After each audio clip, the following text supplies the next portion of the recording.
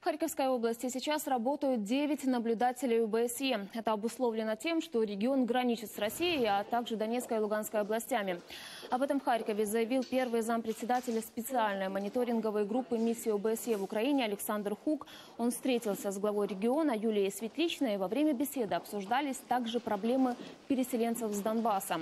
Юлия Светличная рассказала, что сейчас на территории региона проживают 126,5 тысяч человек, выехавших из оккупированных городов и сел.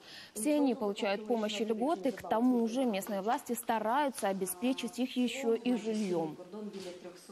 Запроваджуємо проекти державні, міжнародні і волонтерські, які дозволяють нам облаштувати житло для внутрішньопереміщених осіб, запровадити програми працевлаштування, запровадити програми оздоровчі, а також психологічної допомоги. Цього року ми реалізовуємо 13 е, об'єктів для створення житлових умов для внутрішньопереміщених осіб разом із міжнародними організаціями. Возможно, когда-то будет положен конец этому конфликту. Тогда ваши гости, которых вы любезно принимаете в области, наверное, вернутся домой.